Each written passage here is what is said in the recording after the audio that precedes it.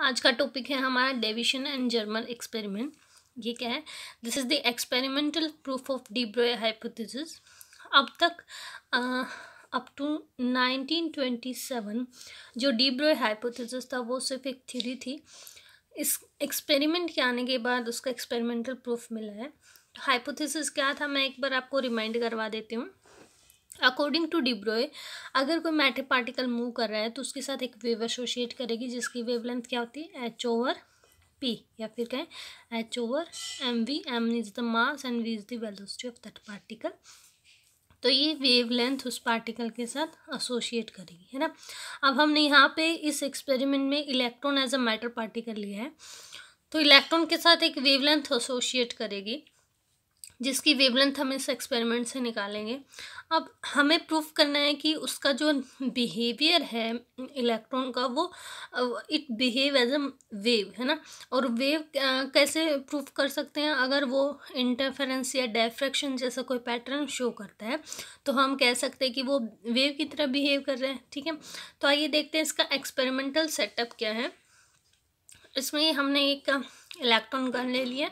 यहाँ से thermionic emission से इलेक्ट्रॉन इजेक्ट हो रहे हैं। यहाँ पे एक हमने एनोड एनोड और कैथोड का कम्बिनेशन इस तरह से किया है ताकि वो उसको कोलिमेट करे, एक बीम की फॉर्म में बनाए और उसको एक्सेलरेट करें। यहाँ से आपने पोटेंशियल अप्लाई किया है, ठीक है? यहाँ पे आपने कोई हैवी मेटल रख दी है। हमने यहाँ पे निकल क्रिस्टल रखा है। हैवी मेटल इसलिए रखी है ताकि ये जो इलेक्ट्रॉन बीम यहाँ पे आ रहा है, इस मेटल के जो एटम्स हैं उनको डिफ्लेक्ट ना करे। यानी उनके ऊपर अगर वो स्ट्राइक करेंगे तो उनको डिस्प्लेस ना कर कर पाए।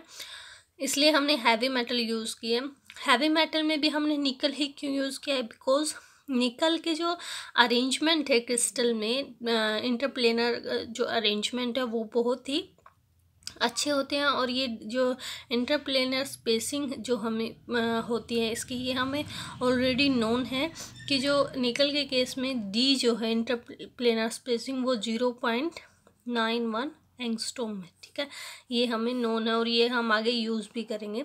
तो यहाँ से आपका इलेक्ट्रॉन बीम आ रहा है। ये रिफ्लेक्ट करके किसी डायरेक्शन में जा रहा है, ठीक है? यहाँ पे हमने एक कलेक्टर लगा दिया है।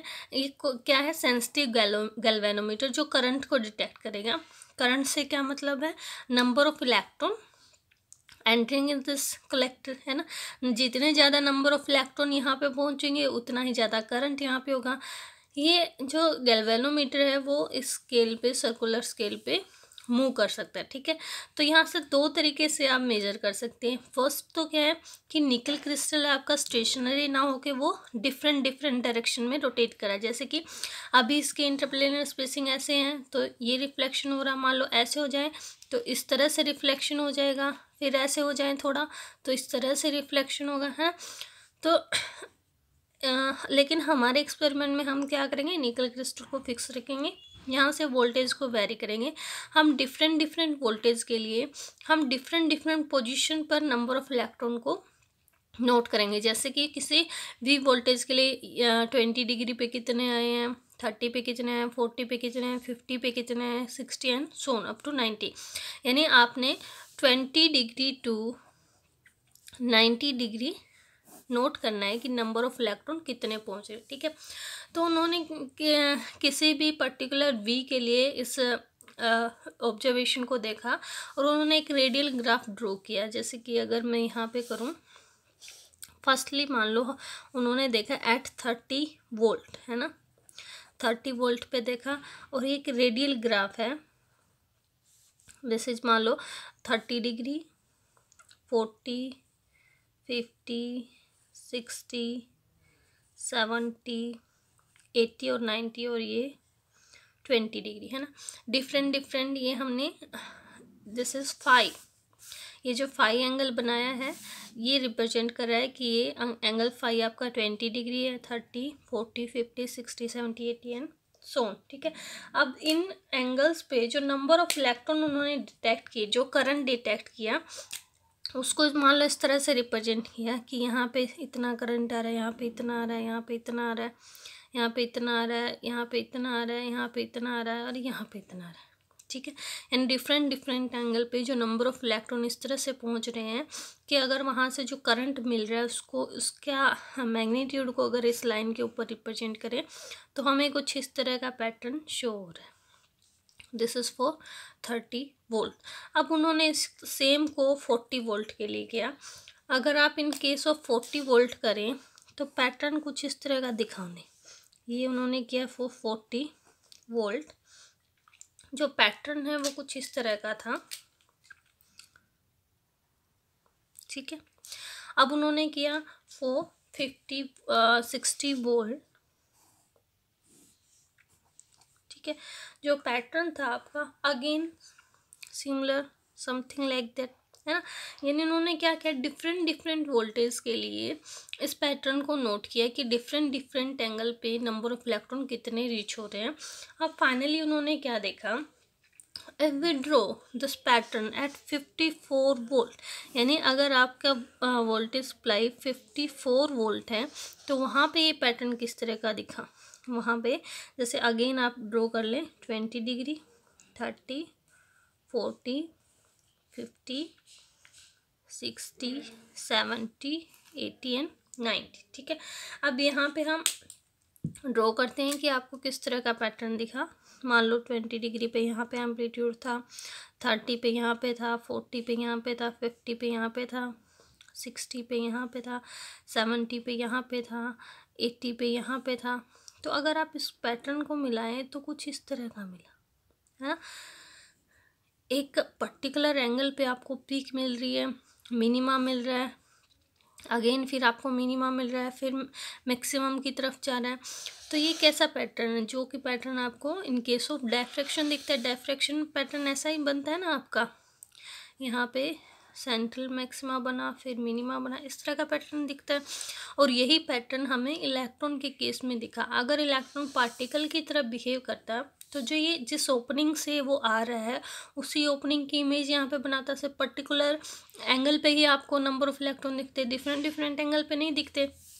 अब यहाँ पे देखिए, जब आपने फिफ्टी फोर वोल्ट पे ये अलग अलग एंगल पे आपने नंबर ऑफ़ इलेक्ट्रॉन नोट किए तो बहुत ही ब्यूटीफुल पैटर्न हमें मिला, जो कि किसको शो कर रहा है? डेफ्रेक्शन को शो कर रहा है।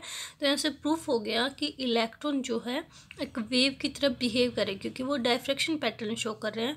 और जो ये एंगल उन्होंने नोट किया यहाँ पे this five here five is fifty degree जो पीक यहाँ पे मिल रही है, वो कितने पे मिल रही है? फिफ्टी डिग्री पे मिल रही है। तो इसको आप, दूसरे तरीके से अगर आपको यहाँ पे वेवलेंथ निकालनी तो हम यहाँ पे यूज़ करेंगे Bragg's law according to Bragg's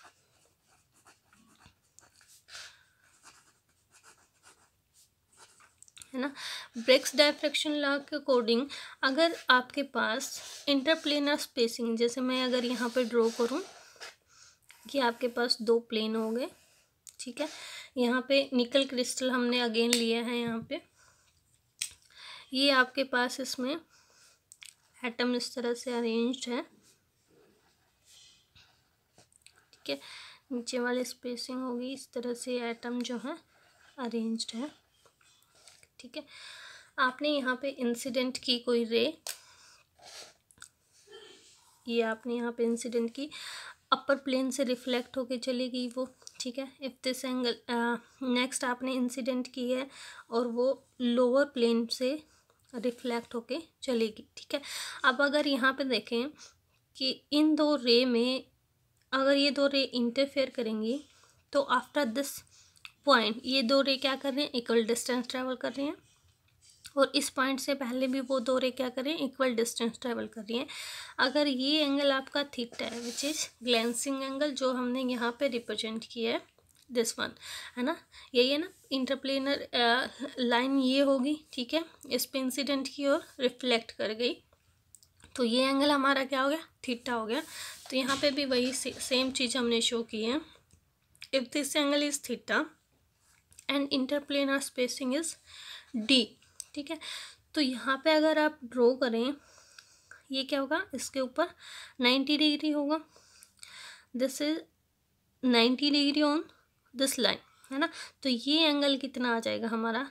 ninety minus theta again ये और ये क्या बना रहे हैं? नाइन्टी डिग्री तो ये एंगल कितना बच जाएगा? थीटा ये एंगल भी कितना होगा? थीटा अगर ये एंगल आपका थीटा है और ये स्पेसिंग आपकी क्या है? डी है। तो ये सेपरेशन और ये सेपरेशन कितना होगा हमारा? This one is d sine theta and this one is also d sine theta तो पाथ डिफरेंस कितना आ गया? दिस प्लस दिस है ना? यही पार्ट डिफरेंस आ रहा है। तो यहाँ से पार्ट डिफरेंस हमारे पास आ गया टू डी साइन थीटा अगर आपका पार्ट डिफरेंस ये एन लैमडा के इक्वल होता है तो आपको मैक्सिमा मिलता है। This is the condition for Bragg's law, है ना? यही पढ़ी है हमने। तो यहाँ पे आपको for n is equal to one के लिए हम कैलकुलेट अगर करें तो two d sine of theta is equal to lambda आ जाएगा, है ना? अब हमें थीटा कैलकुलेट करना है। अब यहाँ पे देखिए this angle theta plus five plus theta is equal to क्या बना रहे वन एटी डिग्री है ना? तो आपके पास क्या है? Theta plus five plus theta is equal to one eighty degree है ना? और you can say two theta is equal to one eighty degree minus five है ना? तो two theta is equal to one eighty degree minus five कितने पे मिला है आपको? फिफ्टी पे मिला तो यहाँ पे आ गया फिफ्टी डिग्री और you can say theta is equal to one thirty one thirty degree over two theta is sixty five degree है ना? तो ग्लैंसिंग एंगल हमारा कितना आ गया? सिक्सटी फाइव डिग्री हमें ऑलरेडी पता है इंटरप्लेनियर स्पेसिंग कितनी है? पॉइंट नाइन वन एंगस्ट्रोम यहाँ पे पुट कर दें। तो यह आ जाएगा two into zero point nine one into ten is per minus ten because angstrom में है।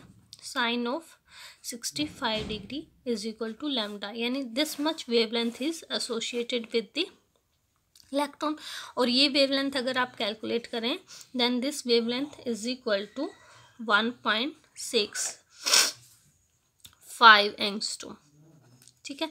तो ये जो वेवलेंथ आएगी वो कितनी आएगी? One point six five angstrom अब हम, ये तो हमारा एक्सपेरिमेंटल रिज़ल्ट आ गया। अब हमने देखते हैं कि जो डिप्रो हाइपोथेसिस था, क्या उसके अकॉर्डिंग भी यही रिज़ल्ट आता है? तो यहाँ पे सोल्व कर लेते हैं according to de Broglie hypothesis देखिए lambda is equal to h over p है ना?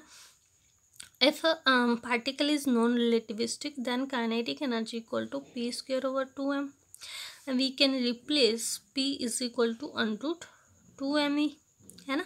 इससे रिप्लेस कर सकते हैं। तो lambda is equal to h over under root two m e ठीक है? अगर आपका पार्टिकल किसी वी वोल्टेज से एक्सेलरेट हो रहा है तो उसकी जो काइनेटिक एनर्जी होती है वो किसके इक्वल होती है? ई चार्ज ऑफ़ पार्टिकल यानी यहाँ पे इलेक्ट्रॉन तो चार्ज ऑफ़ इलेक्ट्रॉन और पोटेंशियल जिससे उसको एक्सेलरेट किया जाता है ईवी तो ऊपर वाले इक्वेशन में हम इसको रिप्लेस कर देंगे। Lambda is equal to h over on root two m e v ठीक है? अगर आप इलेक्ट्रॉन के लिए ये सारे कांस्टेंट पुट करें तो in case of electron this term become twelve point two seven angstrom over root of v ये मैं ऑलरेडी आपको करवा चुकी हूँ। ये रिज़ल्ट आता है। अब वी कितने वोल्टेज पे हमें पैटर्न मिला है? It is at fifty four volt तो यहाँ पे अगर पुट करें lambda is equal to twelve point two seven over hundred fifty four तो आपको जो लैमडा मिलेगा इन एंगस्ट्रोम वो कितना आएगा? इसको सोल्व अगर आप करते हैं तो this become one point six angstrom है ना? तो this is according to de Broglie and this is according to experimental result और आप देख सकते हैं कि दोनों रिज़ल्ट मैच करें। It means this experiment show that de Broglie hypothesis correct और इसी की वजह से इन 1929 में डी ब्रोय को अपने हाइपोथेसिस के लिए नोबल प्राइज़ भी मिला after the experimental proof by Davisson and Germer thank you